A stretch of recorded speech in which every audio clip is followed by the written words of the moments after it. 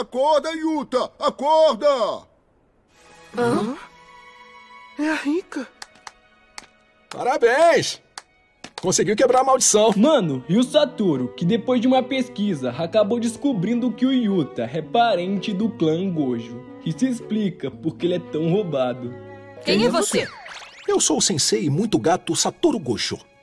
Você é o descendente de Michizane Sugawara, muito distante, mas somos parentes! Suga?